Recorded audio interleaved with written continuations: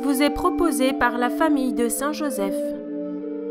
Les moines moniales de Saint Joseph vous invitent à partager leur méditation et leur amour de la parole de Dieu en écoutant l'homélie proposée par le frère Dominique Joseph.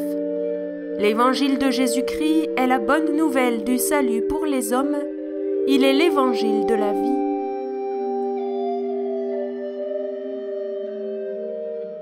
Et sœurs, quels sont les personnages mis en scène par le Seigneur Jésus dans cette parabole?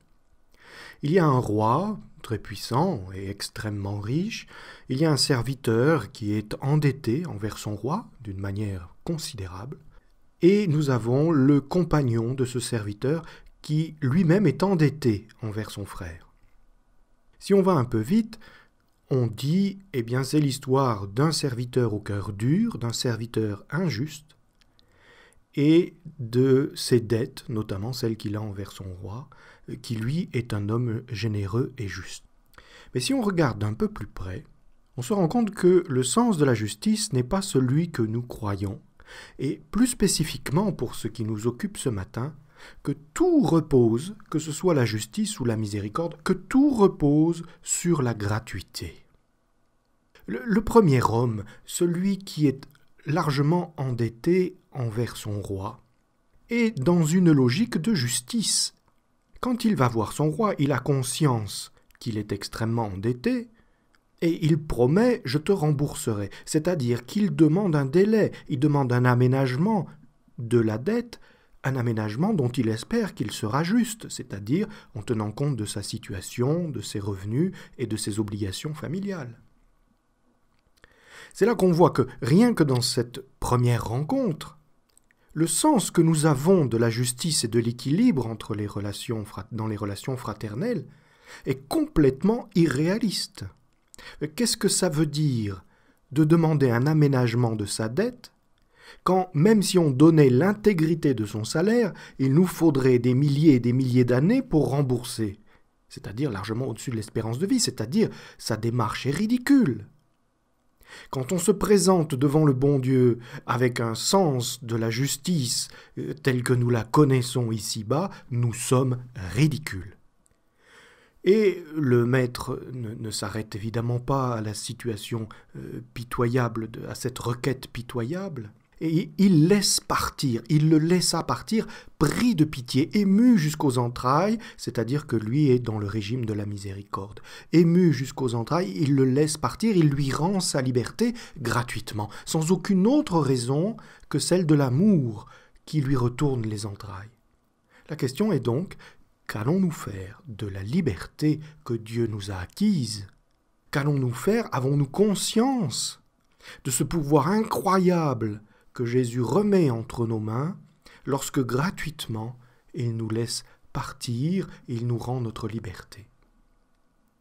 Et alors, ben vous le savez, il y a la rencontre avec le frère qui lui-même est endetté, qui a une grande dette envers son frère. Ça représente à peu près trois mois de salaire.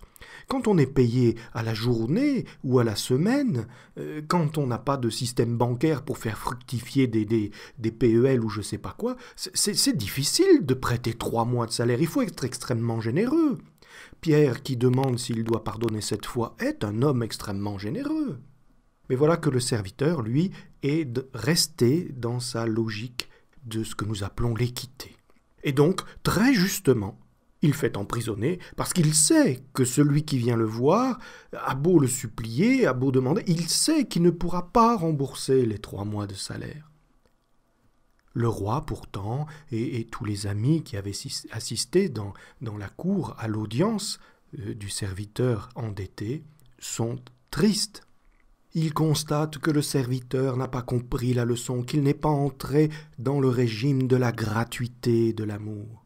Il n'a pas compris combien il est important de libérer l'autre pour qu'il puisse marcher lui-même sur les chemins de l'amour.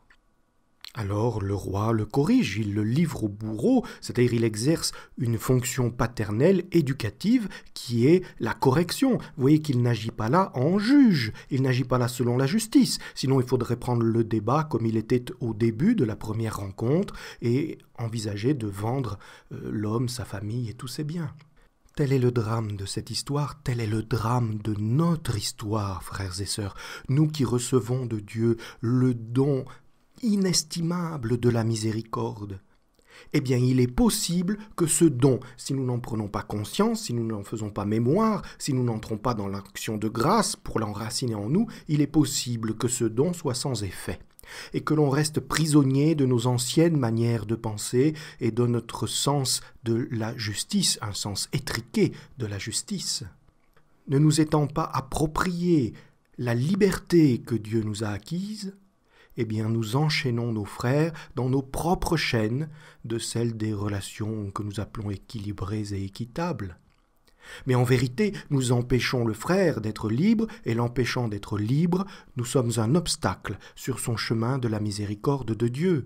À ceux à qui Dieu fait miséricorde, il demande d'être des témoins de sa miséricorde, de vivre eux-mêmes de la miséricorde en la donnant, en la partageant. Tel est l'exercice spirituel que cet évangile nous invite à faire cette semaine. Nous avons été pardonnés. Nous avons été libérés par le Christ Jésus, avons-nous accueilli cette liberté? Sommes-nous réellement libres? Nous la sommes-nous appropriée? Eh bien, nous le mesurons à la manière dont nous libérons nos frères, dont nous libérons tous ceux qui nous ont offensés, tous ceux qui, sept fois ou soixante-dix fois, sept fois, peu importe, ont contracté des dettes envers nous libérons-les, soyons des témoins de la miséricorde, c'est ainsi que nous serons des chemins de nos frères vers la miséricorde de Dieu.